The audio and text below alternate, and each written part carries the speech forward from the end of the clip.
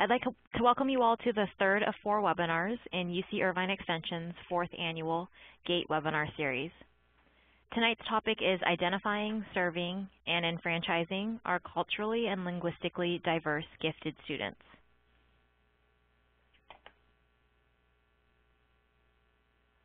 This session is being recorded and the recording will be available within 24 hours. If you register through Extension's free events website, you will automatically receive an email with a link to this recording.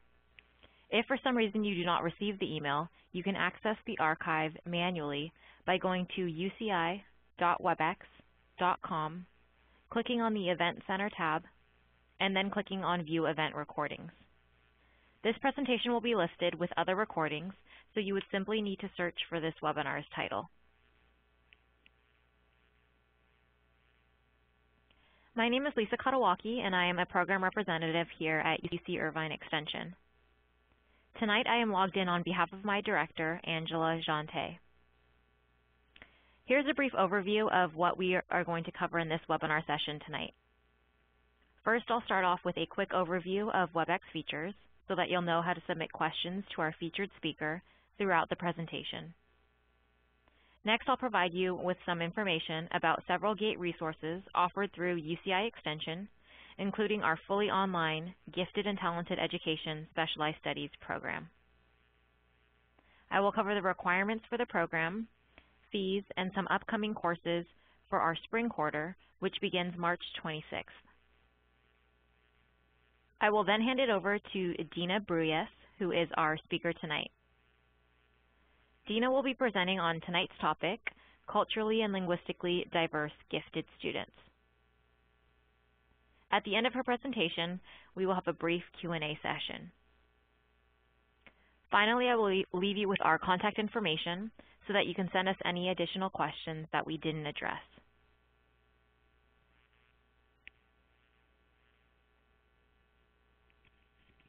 If you encounter any technical difficulties during the webinar tonight, please shoot a chat message over to UCI Robert, and he will help you troubleshoot any issues.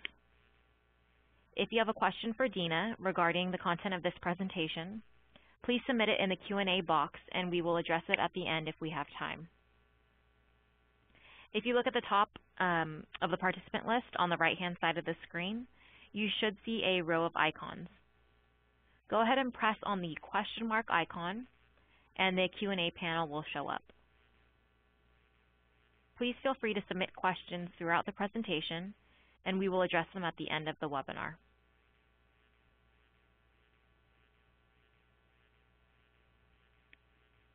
Here is a brief overview of the GATE Specialized Studies program we have here at UCI Extension. Our certificate program is fully online and consists of nine quarter units. Students have the opportunity to pick from a variety of electives with different unit values to make up those nine units. Our program is taught by a team of experts and is designed for individuals new to the field as well as current GATE educators seeking professional development opportunities. To be eligible for this certification, students must complete all nine units with a grade of a C or better, as well as a completed request for certificate. The courses in the program range from $350 to $500 per course, depending on the unit value. You may take individual courses without pursuing the entire certificate program.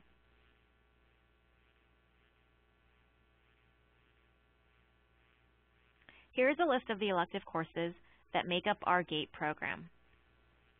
Regardless of which electives you choose to satisfy the 9-unit requirement, our program will help you develop a new skill set and gain a deeper understanding of the needs and issues of this diverse group of students. When viewing the course schedule, you'll notice that not all classes are offered every quarter, so please plan accordingly.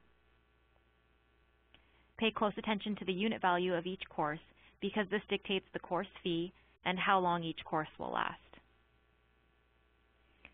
For example, you can expect Learning Styles, which is a one-unit course, to last four weeks online and cost $350, while differentiated instruction, a three-unit course, costs $500 and lasts 11 weeks online. The nice thing about our Specialized Studies program is that you can earn your certificate in as little as nine months, and you can choose only the courses of greatest immediate interest to you.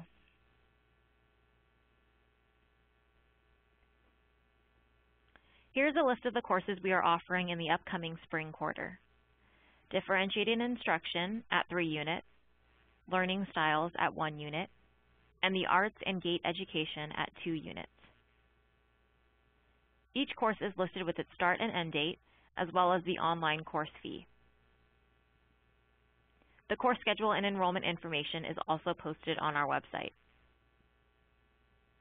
Registration for spring courses is currently open, and students may enroll either by calling the number on the screen or by enrolling online at the URL listed.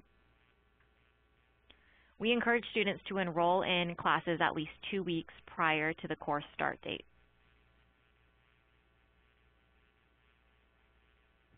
UC Irvine Extension also provides individual courses, specialized in-services, and the entire GATE certificate program on-site or online to schools and districts at reduced prices.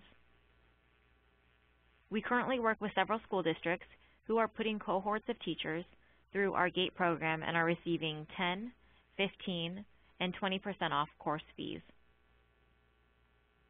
With one district, we send our university-approved instructors to teach the classes on-site at their district office. With other districts, we provide customized online courses available only to teachers from that particular school district. In any case, we hope that there is an opportunity for UCI Extension to meet your GATE training needs. If you wish to learn more about our program and discount offers, please email me or call 949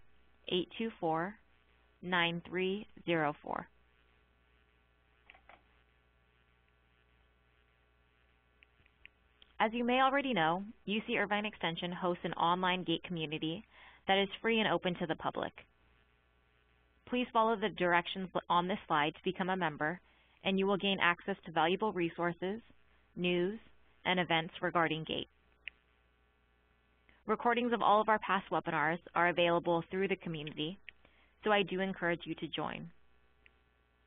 And we're currently on our third webinar of the series. There's one more next week, and we have already done two webinars the past uh, two weeks. And all of the webinars from this web this series um, from this year will be posted to the online GATE community at the end of this month.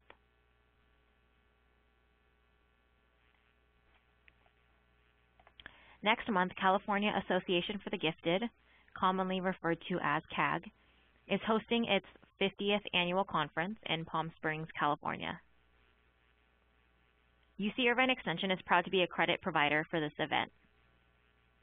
In order to receive one unit of credit, individuals must attend the CAG conference, submit an official enrollment form with $120 payment, and write a two-page reflection paper summarizing what you learned at the conference and how you will apply what you learned to your teaching practice.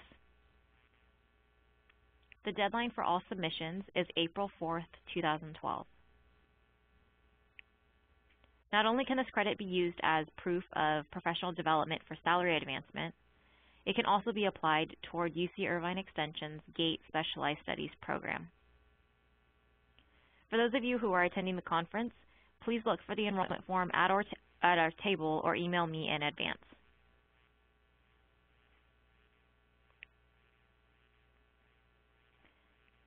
Okay, to wrap up my portion of the presentation, hopefully you saw some courses that piqued your interest, and we hope that you will consider adding our fully online GATE program to your credentials. This slide has my contact information, as well as my directors, so please feel free to contact us with any questions.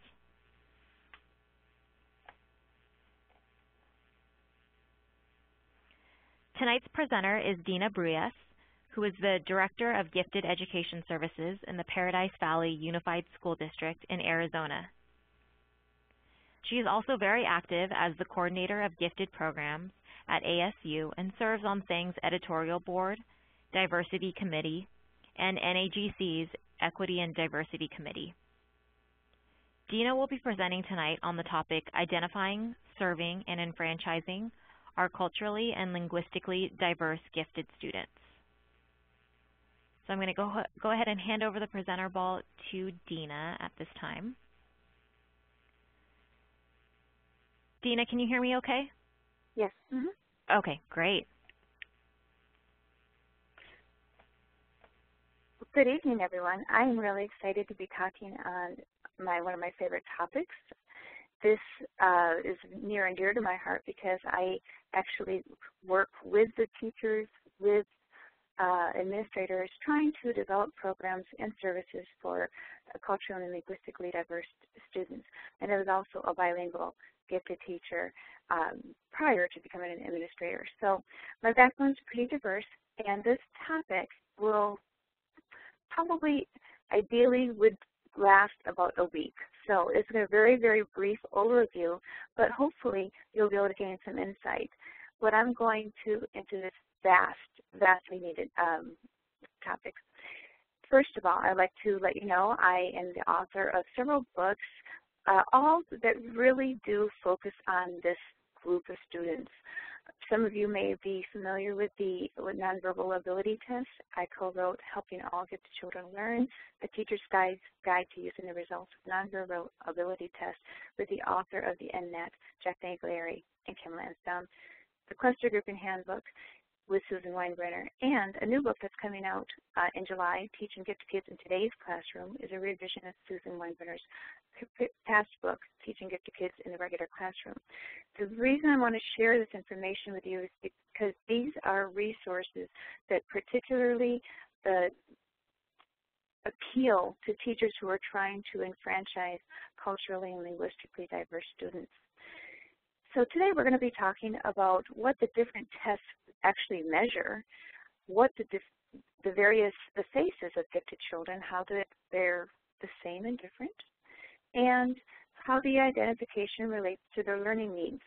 Finally, the most, one of the most important things we do is what can we do with these students uh, as far as related to gifted programming and how do we find an optimal match for them in our schools? What are some of the services we need to look at and consider?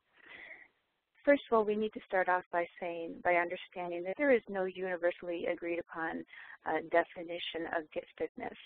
Giftedness is, and talent, intelligence, they're fluid concepts and they look very different in different contexts and cultures. Even within a school, you'll find a range of different beliefs about what gifted means. And it's a term that has, um, takes on its own meaning in different situations. Unfortunately, many times we identify st students as gifted if they fit into our existing programs. So some of what we're going to be talking about here is how to first identify the gifted students and then create the services that are an optimal match for those students. One of my favorite definitions is from Francois Gagne, who says that giftedness designates the potential and use of untrained and spontaneously expressed natural abilities that is a very important word, natural abilities, in at least one uh, domain. By contrast, talent designates the superior mastery of systematically developed abilities or skills in certain areas. Go back to the top, the uh, description there of giftedness, and we will you will understand that giftedness is an innate ability that people are born with. It's a natural ability. And we need to bring that out of our students. We need to develop that potential, that talent, um, in order for, for students to, uh, to reach that potential. We also need to remember that giftedness is found in all ethnic and socioeconomic and cultural groups. A lot of times in our schools, we end up with a maybe unrepresentative population of students in our gifted programs. And a lot of times that comes because we are not using the right tools or providing the right services that are going to be inclusive and enfranchise these groups.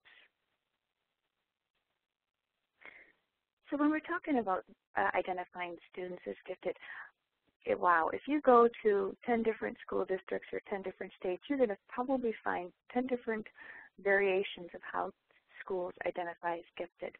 One of the important things that I like to um, point out to people is that there's a very big difference between ability and achievement.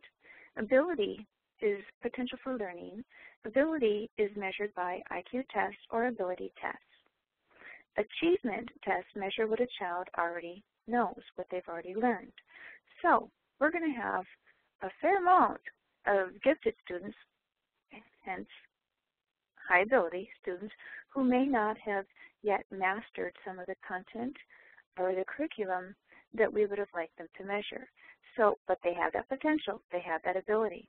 Very important distinction there. A lot of high achieving students are not gifted, and they will never have that be identified as gifted in a true measure that measures ability or intelligence, but they're smart kids, do well in school, and achieve highly. My goal as an educator is to help gifted students with high ability develop that achievement, those levels of achievement that are commensurate with their ability. We need to have structures in place in our schools in order for that to happen. And we need, like you, teachers who understand what those needs might be. Why do we test anyway? We need to test to learn the, about what the student's learning needs are, strengths and weaknesses as well. We test to help identify children for placement into a gifted program, and sometimes the testing also will give us an indication of some uh, learning disabilities. The most important reason for testing is to help advocate for appropriate educational accommodations for those students who need them. And when we talk about gifted kids, we're talking pretty much around 130 IQ, and that's about 3 in 100 students. A lot of those really smart kids that are high achieving, that, that we um, that do well in school, those are the kids a lot of times between 110 and 130 IQ, and it constitutes a, a large proportion of our students in our schools. And these kids are generally quite successful because they are within that norm. And when I say within the norm, right around where the blue arrow is pointing to at 130 IQ, if you go up to the top, you'll see 95% of our students are within two standard deviations from the norm, the norm being 100. These kids between 115 and 130 IQ do really well in school because they fall within that norm, that normal range, and they are in the school, the curriculum in the schools is really set up so that with these smart kids between 115 and 130 IQ, they're going to be challenged within that within that normal curriculum, maybe um, at a little higher level than other students in, in that classroom. But when you go outside of that 130 or beyond, I should say, 130 to 145 IQ, that's where that's where most of our gifted students are. Those that are over 145 are those that we call highly gifted. Go back to that midpoint range, 100 IQ on this, on this uh, scale. If you go look at two standard deviations to the left, and you're around a 70, once again, go straight up 70 to 100, 130. That's pretty much considered average in our schools, lower average, average, and high average. However, when you dip a little bit below that, these are the students that uh, there are three standard deviations from the norm. These are the students for whom the other constructs are in place in our schools to assist in their learning needs. And it is critical that we have those, those um, in place. There's a federal mandate, there's federal funding, there's state funding. Well, most states have very little funding for gifted students who are equally removed from the norm, but yet on the other side these students um, also have learning needs that fall outside the norm. So that's, but because there's no federal funding or federal mandate, there's very little funding for the, for this, this group of students. So, but when we think about culturally and linguistically diverse students, even less, because these are the ones, the students that are harder for us to identify their ability a lot of times because of their diversity. their cultural background might not appear similar to others, so we don't always understand them. They might not be fluent in English, so therefore they might not do as, as well on certain IQ tests or ability tests. Popular tests for used for identifying gifted students are ability tests and intelligence tests, like I mentioned, and the most two commonly used tests in the schools are the Cognitive Abilities Test, the COGAT, and the Naglieri Nonverbal Ability Test, the NNAT. I use both in my school district. In my school district, we have about 50 schools, and within those 50 schools, we have a third maybe that are high SES, a third in the middle, and a third that are low SES or title schools. We need to have different measures that identify the different populations of our gifted students because not one measure will, will identify giftedness in all students. So we want to use multiple measures. The best measure is an intelligence test.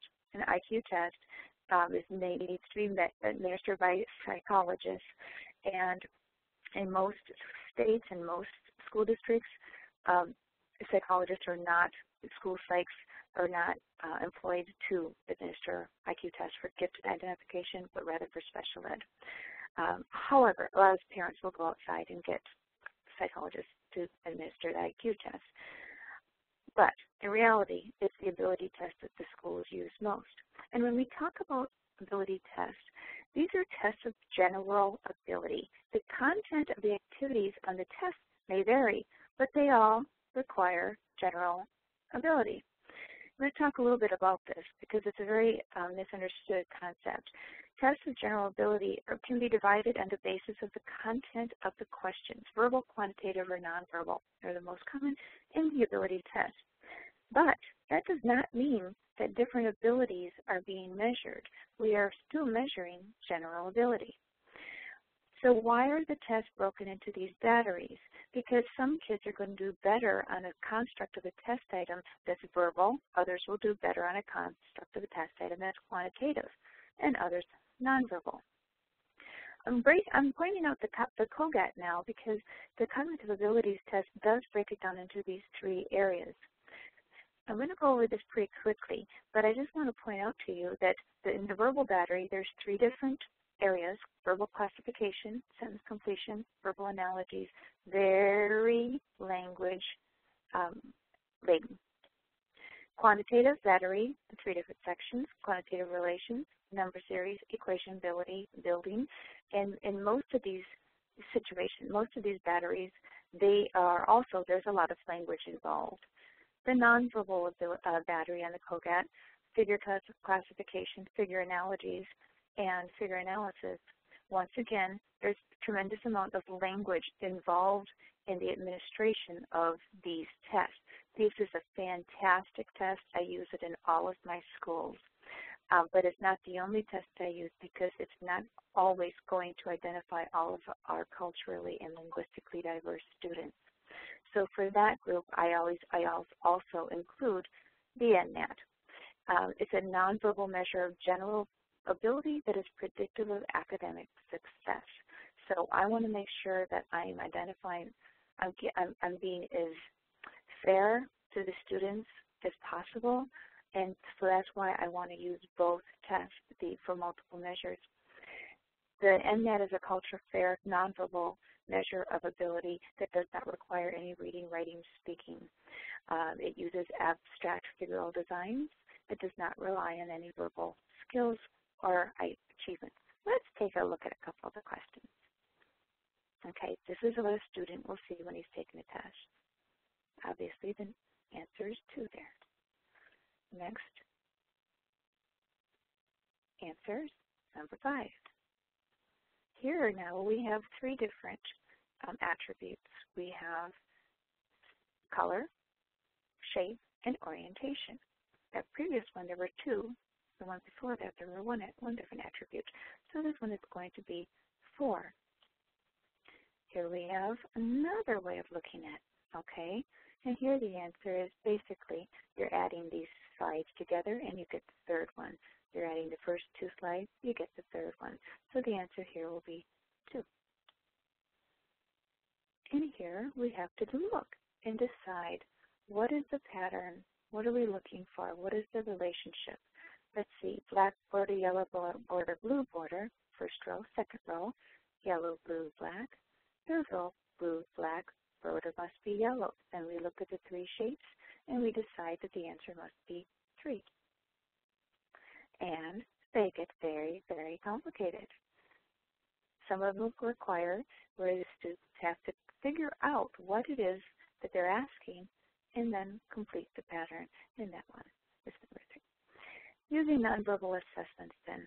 General ability is measured using this so that um, many individuals can be assessed using the same sets of questions. And they're more appropriate for culturally and linguistically diverse populations. One thing that um, Dr. Naglieri and I get asked frequently is, oh, so the nonverbal test must measure part of the ability, the verbal versus nonverbal. We also get asked, is there validity in that? And what does it what does that tell us anyway about the about the child learning? I'm not going to go through the research because there's a ton of it, but I want to point out that the summary of the nonverbal tests, especially the NNAT, um, shows that there's a strong relationship to achievement, small race and ethnic differences, similar identification rates for gifted children, similar scores uh, for children with English, limited English. So basically, we want to use this as part of the process to identify our gifted children to make sure that we are not missing some of these kiddos nonverbal assessment, it this is this is really um, misunderstood concept. It describes the content of the test that's used to measure general intelligence. It's not a theoretical construct of nonverbal ability. I'm going to explain that a little bit more in a minute. There's no assumption that nonverbal as opposed to verbal abilities are being measured. Remember, I had mentioned that these ability tests measure G, general intelligence. It relates to IQ. It correlates, I should say, but it measures general ability. Basically, it's the construct of the test items that makes it verbal or nonverbal. And what does this mean for schools?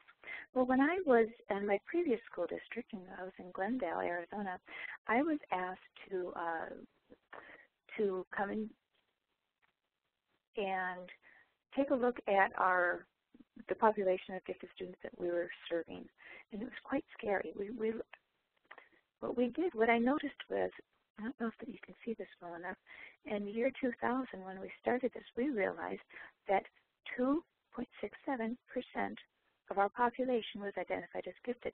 It's rather low. The state average was 8. What we did then was we incorporated a nonverbal test plus cluster grouping model both of which enfranchise these populations. And year after year after year, our, we saw our numbers increase. Now I should point out that this district was about 78% Hispanic at the time, high ELL numbers, very low SES school district. So how did this growth occur? Just by using a nonverbal ability test? No, we also wanted to, to provide inclusive type of, um, of programming so that once we identified these gifted students, we also serve them and we help develop that potential that we talked about earlier. So when we looked at those numbers in year one, about 237 of our students were white, our gifted students, and about 70 were Hispanic. Well, I just finished telling you that 78% of the population was Hispanic. So we were doing a really good job identifying and serving our white kids and not that great with our Hispanic students. After incorporating these two methods the, uh, for identifying a nonverbal ability test plus using cluster grouping, each year this, the number of Hispanics increased until year six. The Hispanic population of gifted students actually reflected the district representation of that ethnic group. So we had, by the end of the six years, the white students continued to be identified using this nonverbal ability test. Of course, we also use the COGAT. But that it, they, it didn't do a disservice to these students, but what we did see is a huge leap in the number of Hispanic students that we were identifying and serving. So let's switch gears again. General ability is what allows people to solve problems that involve words, pictures, numbers. It doesn't matter what they involve, it's general ability. They might not be fluent in English, but with high general ability, you can still solve problems. It's using the language, your own language, your own working through things. These problems that we solve, they involve reasoning, memory, sequencing, verbal and math skills, patterning, connecting ideas across and within content, making um, connections, insights, drawing uh, inferences, and analyzing simple and complex ideas. Those, that problem solving relates to every single thing the child does in school, not just one content area, not just acceleration. We'll talk more about that in a minute as well. When you were looking at those puzzles, the the um, the uh, test items, what were you doing? You were making relationships between the different things, uh, uh, different test items.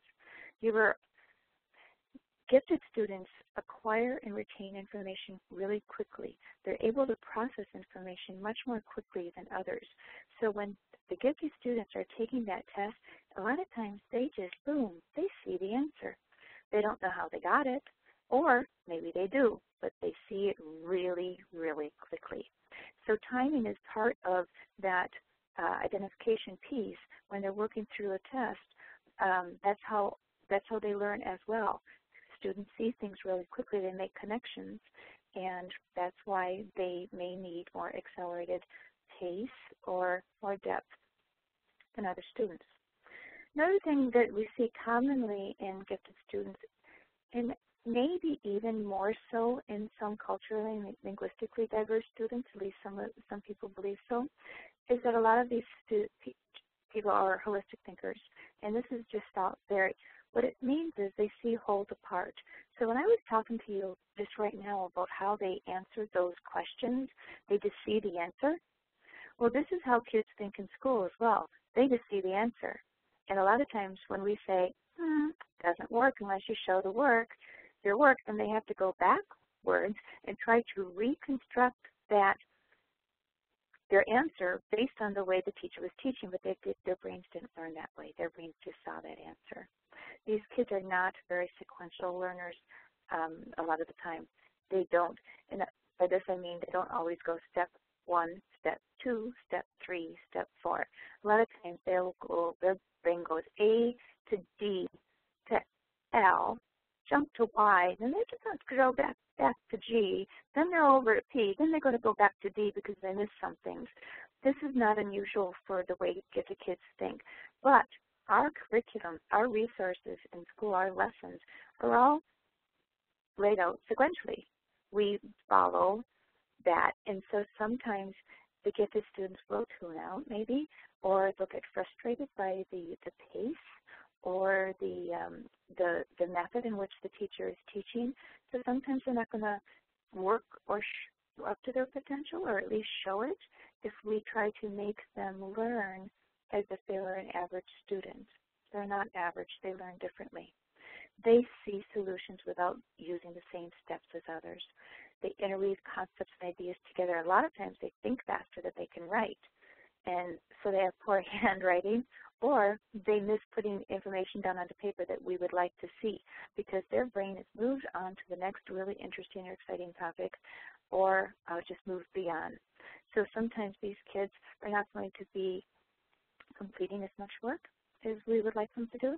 What if they're not fluent in English? They're understanding some concepts maybe, but they're not able to produce in the same way that a fluent, uh, an English, a native English speaker would, would produce. All gifted students have, un, well, I shouldn't say all, but most of them have uneven development. We'll talk about more of that in a bit. But holistic thinkers, a lot of times, they like to interweave concepts and ideas. And that's why project-based learning is really effective with a lot of gifted students. They get excited about learning, and going through this list, Have you ever seen gifted students in your classrooms where we say, okay, let's close the English book, now we are going to do math. Well, I'm sorry, but they were really excited about what they were doing in that, that story, that English class, that, that lesson, and they're not ready to make that transition to math because their brains, or they take things deeper, information deeper into um, uh, interesting areas, and so transitions are hard for them a lot of times. And asynchronous development, I won't spend much time on this, but it means that we develop at different rates. The, development is, is not in sync as it is with average students. But what does this look like with culturally and linguistically diverse students? Their thinking might be um, at a different advanced level, but their skills are not. Another way of looking at it, synchronous development. When we look at culture and linguistics CLD students, we, these are students that typically acquire language at a very, very fast pace and with a lot of ease. A lot of times we will see these kids move through those levels of language acquisition much more rapidly than their peers. I, in my schools, I always work with our ELL teachers and the testers. I want to give them a Gifted 101. Here's some characteristics of gifted students, especially CLD students, because I want those teachers who are working, providing those, that language acquisition test to point out to me which students I need to get tested on a nonverbal ability test. They see things um, in these students that other classroom teachers might not because they may have more uh, background with uh, ELL students. A lot of these CLD students, um, they maybe maybe they have incredible creativity, um, but in certain areas, strong leadership skills in their own culture or somewhere, maybe on the playground. They want to hone those leadership skills into the classroom as well.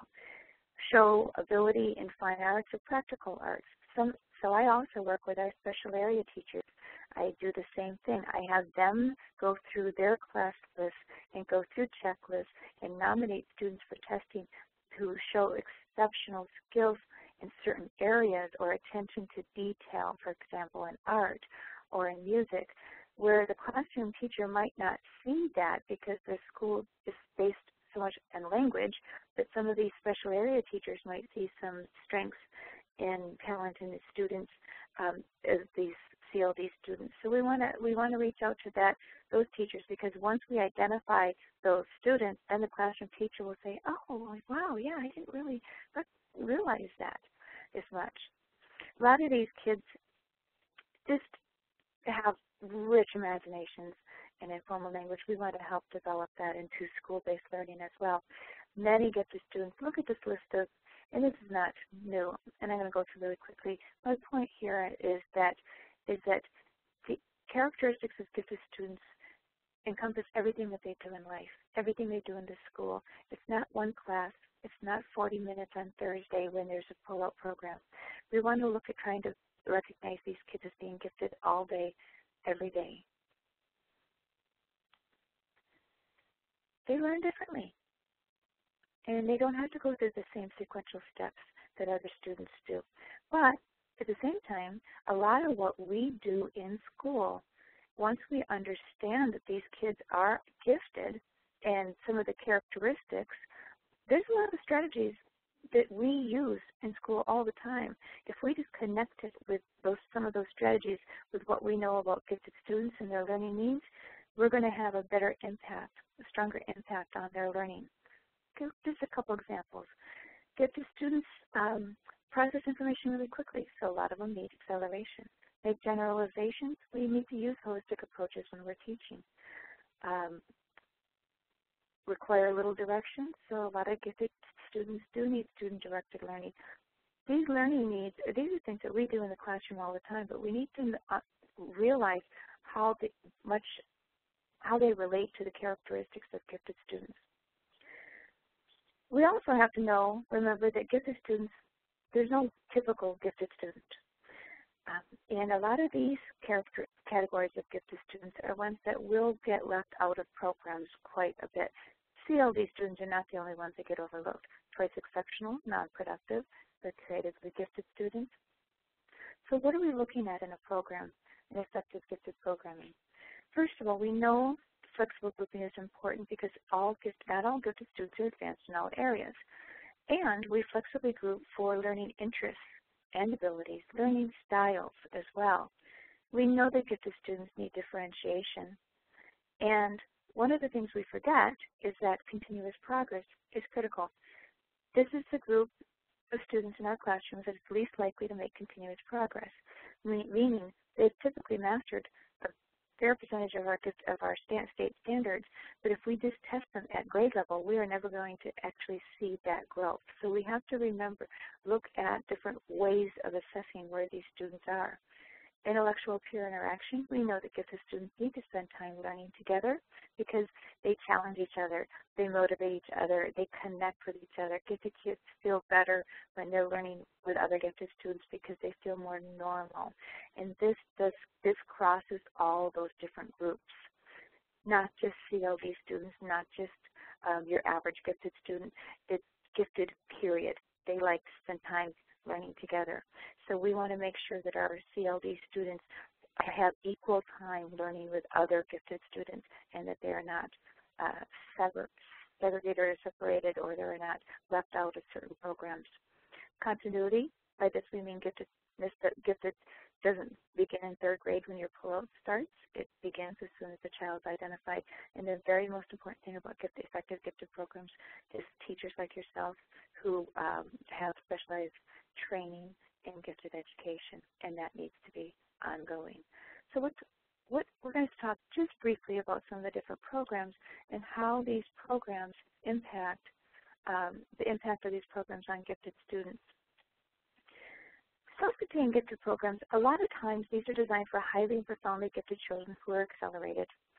And in the, these self-contained gifted programs, if the children are not high achieving, they might not be included in these programs. Well, there's a lot of CLD students are not high achieving only because they haven't yet acquired the language. But we know that they are very smart. They have very they have high ability, and we want to help them develop that potential. So we have to be, we have to be careful that we are not excluding. If your school has only self-contained, we have to make sure that it is inclusive of all students.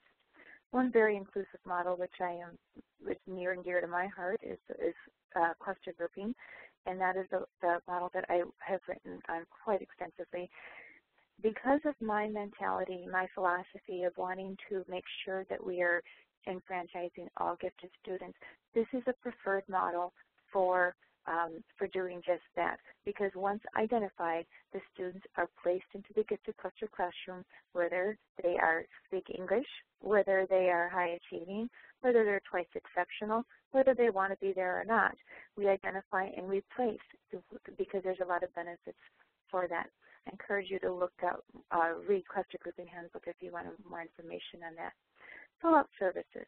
When we pull out students, it could be for a variety of different reasons. It could be for enrichment. It could be for honors. It could be for project-based. Um, and pull-out services are fantastic, but the problem is a lot of school districts are eliminating these because of funding. It usually requires a different, um, another staff member. Impact on CLD students really depends, is determined by what is occurring in the pull-out services. A lot of pull-out services, like in my own district, we use cluster groups, we use all of these, but one of the, sometimes they're constant replacement or honors classes. And the problem with this with CLD students is that the, the curriculum is usually very accelerated, which it should be because gifted kids need accelerated curriculum. But if that child, that ELL gifted child, has not yet acquired proficiency in the language, they won't be they won't be included in that type of a class. Uh, Twice Exceptional programs, there's very few. I'm one of the people that have them, but it's for children that have an IEP uh, for special ed and also gifted identification. There's we typically see few kids and CLD kids in these programs a lot of times because they're not looking for the giftedness when we're looking at um, concerns just because that population is less identified. So we have all these wonderful models, but if your school or district doesn't have the model, that's okay. Jane Clarenbach at NAGC says that all gifted is local. And that means because there's no uh, federal mandate, there's no state funding in many states, including my own. Sometimes even the district is not paying attention to, to gifted. So it comes down to what you're doing in your own school, what you're doing in your classroom. And there's a lot of methods that we can use to address gifted students of all spaces in our classrooms. Um, obviously, I'm not going to go through these in depth because they're common ones, but I want to have all on the PowerPoint so you can consider how some of these different provisions, we call these provisions, not models, um, impact CLD, CLD students in your classes. Acceleration, faster paces, maybe in, in uh, certain subject area or grade acceleration. Flexible grouping is so important and you because we want to flexibly group our students based on their interests, their achievement levels, their learning preferences, maybe their learning styles, or the content objectives. We can flexibly group within the class, that's what's typically done. Also though, within a grade level. Within even beyond the grade level if we need to. This is a very critical um, component for provision that we can provide our gifted CLD students because they might have strengths in certain areas, but they might, really might need some um, scaffolding and some even some building compensatory skills in, in certain areas. Ability grouping, placing students of similar ability in same classes for general purposes. This is fine, except we have to remember to reassess and regroup and not make those groups fixed because that becomes tracking. When we ability group, uh, that we can do it, there's a lot of both effective and academic um, um, impacts for benefits for both of, for, for those students. Compacting is that's when we condense the amount of time or material gifted students need. They might not need to go through 25 questions like the average student math questions. They could do the five most difficult first, compact those out, make sure that they had mastered those, and then let them go on. It minimizes the drill and accelerates uh, the instruction for those students. Enrichment is really critical, really important for gifted students uh, because it emphasizes critical and creative thinking, and we know to build 21st century learners, that's where we have to go beyond straight skill and drill to uh, let these kids have opportunities to go into more depth and complexity in the content area. And a lot of pull-out services are enrichment-based, which is wonderful. But we also want to make sure that that enrichment connects to our core our core standards and core curriculum, because that is our, you know, that's that's part of our purpose in schools. The I made it through almost. I wanted to also point out to you that there really is no single best way to develop programs for gifted students. They're so varied in their interests, talents, abilities, and learning styles. The programs need to be flexible, dynamic, multi-leveled, and designed to meet the individual needs of each child who receives services. The goal is to expand students' abilities, not just to establish a program. This came from aiming for excellence Gifted Program Standards by Landrum, Landrum, Mary Landrum and Beverly Shaklee in 2001. I am going to, um, I'm really excited because I actually saved the 10 minutes I was supposed to to answer questions. Great. Thank you so much, Dina. Um, so again, if you have a question for Dina regarding her presentation, feel free to submit your question in the Q&A panel and you will find that by looking at the, it depends on what type of computer you have, but typically it's in the upper right-hand corner of the screen. Um, above the panels, it'll be a row of icons, and you want to press on the question mark icon, and the Q&A panel will show up, and you could submit your question there. You can also chat your question to us. So if you want to send a chat message to myself as the host or directly to Dina um, she can see the question on her chat panel as well. So Dean, I got a question from an attendee and it says, since our school clumps together GATE students with high achieving students in what's called an accelerated class, Um, what is the best way to support the GATE child in this setting? I would, in the, in the presentation when I talked about the provisions, those are things that we can do within the classroom, within the regular classroom. I'd also like to, uh, to point out, and I don't know if I still have control over there, um, strategies such as included in teaching gifted kids in today's classroom and the cluster grouping handbook, these are, these are things that any teacher can do um, pretty easily with just practice within your classroom.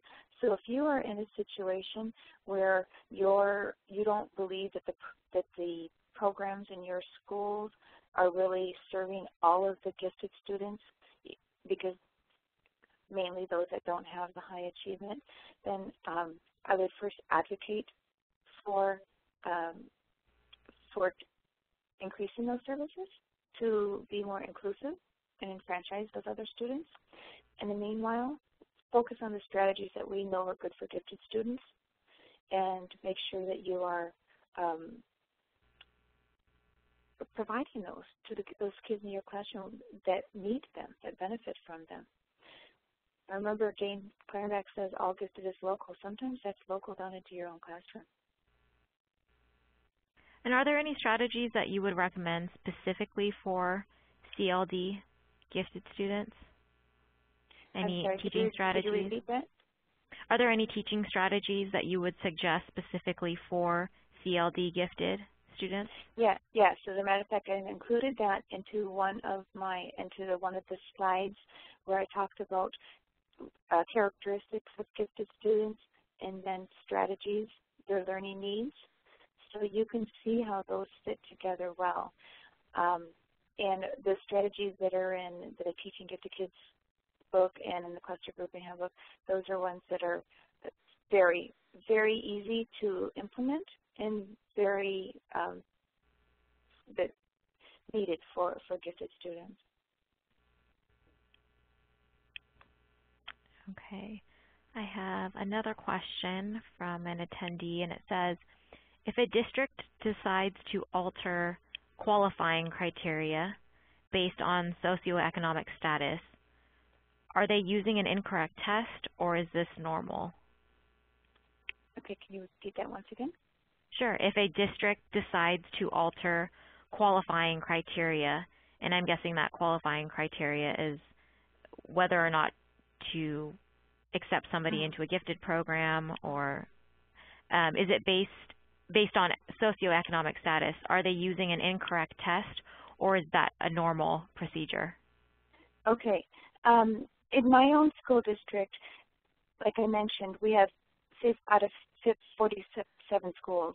There might be some, there's some very high and some very low SES. I want to make sure that in my low SES school that happens to have a lot more um, Hispanic students that I'm using multiple measures, first of all. But even so, the percentage of students identifying in some schools is going to be much lower than others. In my own district, because I'm the director of Gifted, I get to make a lot of the um, program de decisions. Um, sometimes we include or we lower the rate the, the range, instead of 97 percentile on the COGAT and NNAT, in some schools we will lower it to 90 in order to include more students and services. However, we don't officially identify them as gifted.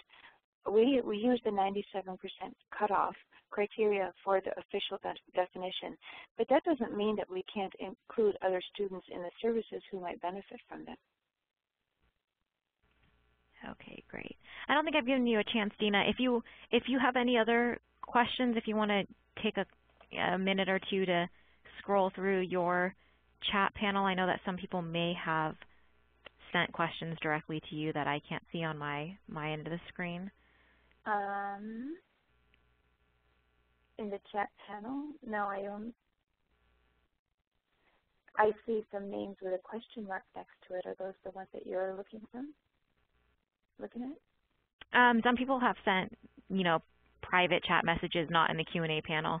So I just wanted to see if you had, had any on your end.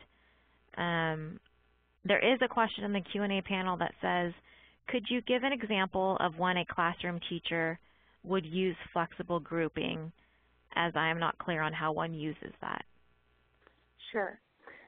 Say, for example, um, I'm going to give a pretest based on something that I'm going to be teaching. I'm going to ask kids what they know about a certain subject.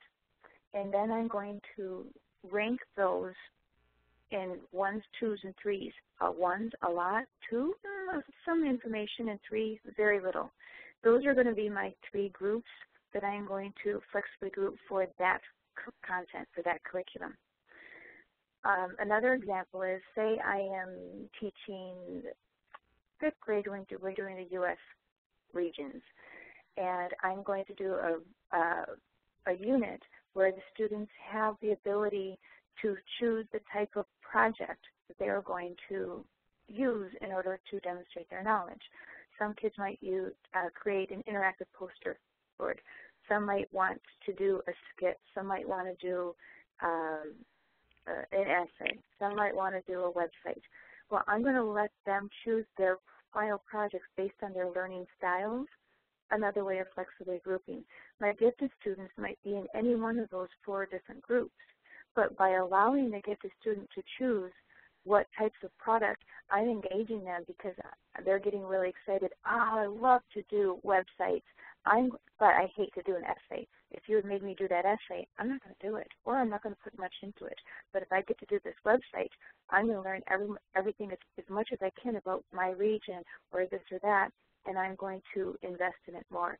So we flexibly group according to ability, interest, uh, learning styles, different ways, and a lot of that is just to motivate uh, motivate our students, and especially with gifted students who um, want to get excited about a certain project but have their own ideas of how they want to demonstrate that learning.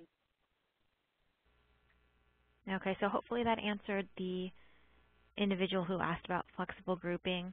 And Dina, I also sent you two more questions in your chat panel that um, some attendees had asked. So if you if you want to address either one of those or both of them if you can, we have a few more minutes left so we can maybe take on one more question.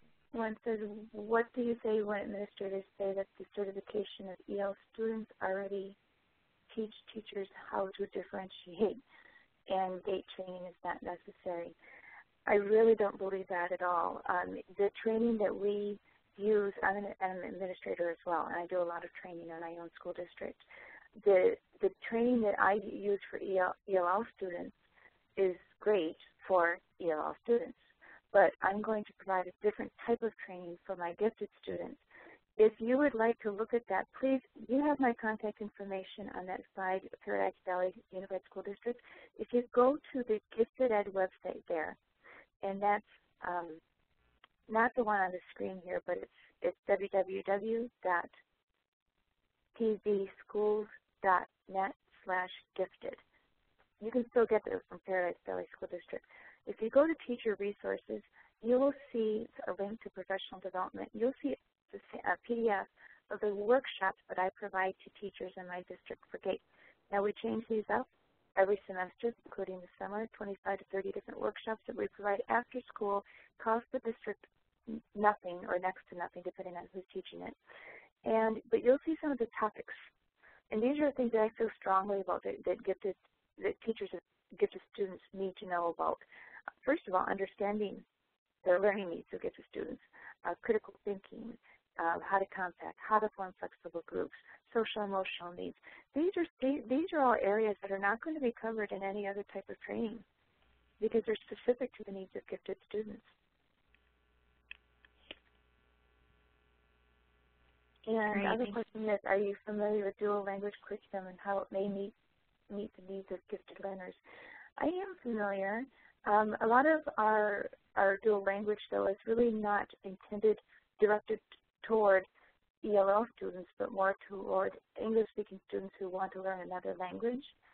Um, so I don't know if that is, uh, if, if, that's, I mean, that's in my experience, so I'm not quite sure um, how that would relate to, to this discussion. Okay. Um, I think that's about all the time we have here today. I'm going to go ahead and move to the next slide with um, some more information about our webinar series. Dean, I want to thank you so much for sharing your knowledge with us tonight on such an important topic. And I'd also like to thank you all for logging in with us, and I hope that you will join us next week on the same day and time as we end our series with the final webinar, Technology Tools for GATE Teachers, presented by Ian Bird.